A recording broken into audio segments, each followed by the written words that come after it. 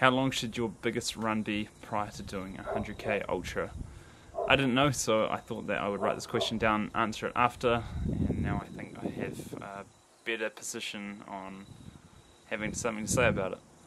My biggest prior to doing 100k was 60 out in Riverhead Forest. It was on fairly smooth gravel fire roads, some dirt sections, but not a whole lot of roots, not a whole lot of climbing over trees, not much single track, and that kind of thing. And that was what was lacking for me.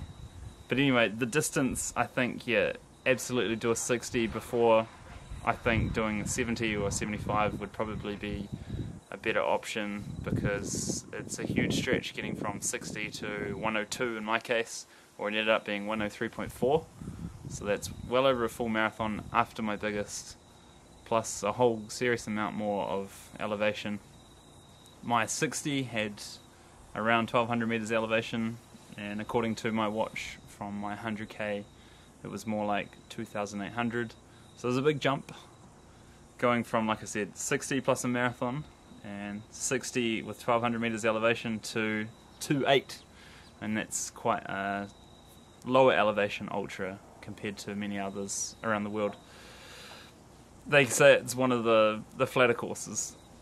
I'm not used to that that's for sure there's definitely some sections in there that are very steep and it's not to say that i can't get up steep terrain it's just the duration at which the steep ascents occur.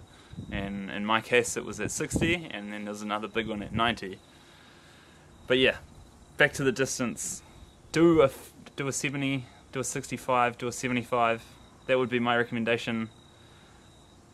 There's not much else on YouTube about it that I could find maybe there are some other smaller videos that I didn't come across but I thought that yeah there wasn't a whole lot of information on it and sure the pros do a different thing because they're the pros and if you're regular regular like me, then you might consider doing less.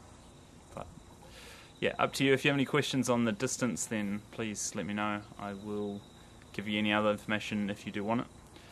Thanks for watching. See you in the next one.